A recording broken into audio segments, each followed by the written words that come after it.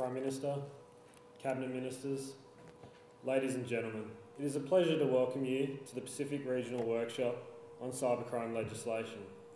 The Australian Government is pleased to co-host this workshop with the Council of Europe and the Secretariat of the Pacific Community. As many of you are aware, the Australian Government is committed to helping Pacific countries strengthen the rule of law and protect human rights. This workshop is part of that commitment to ensure that we are working collaboratively with our Pacific neighbours to develop strategies and approaches to law and justice that are appropriate to local circumstances and contexts. The workshop is part of a broad suite of law and justice assistance that the International Legal Assistance Branch in the Attorney General's Department is delivering to Pacific Island countries.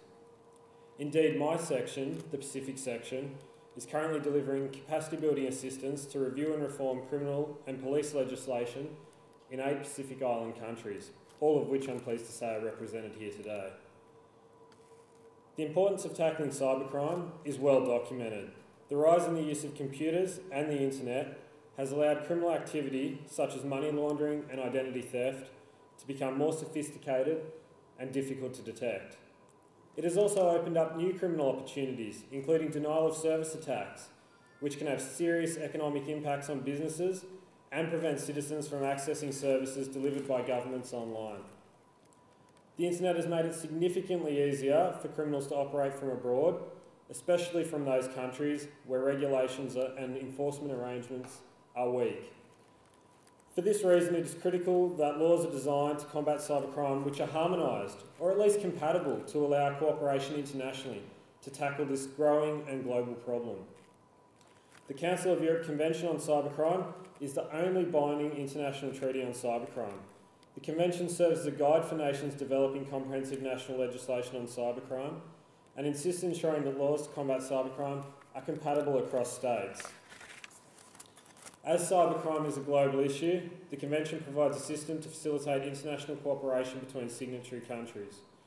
The Convention, when implemented domestically, will enhance the ability of law enforcement agencies to collect, share, and receive information to assist domestic and foreign investigations. I am pleased to say that Australia is currently progressing towards accession to the Convention.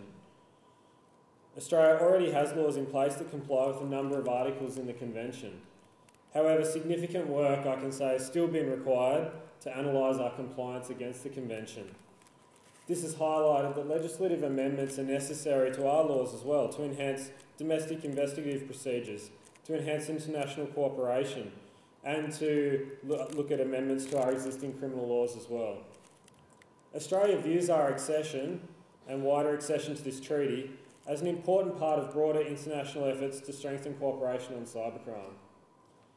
Given Australia's work to date towards accession to the Convention, the Australian Government views this workshop as particularly timely. It provides an ideal opportunity for Australia to share with you how we are going about accession to the Convention, including the work we have done on analysing our current laws against the Articles of the Convention. I hope to pass some of those lessons we have learned along the way to assist you all in undertaking similar process to strengthen your cybercrime legislation and perhaps move towards accession should you wish to look at that.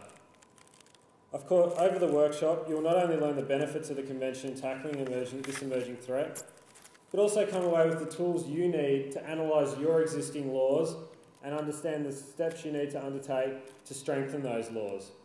This will ensure your countries are well placed to tackle the threat of cybercrime. I look forward to working with you all over the next three days and continuing to work with you all across the broader range of projects that the Australian Government is progressing collaboratively with many of you under Australia's framework for law and justice engagement with the Pacific. Thank you.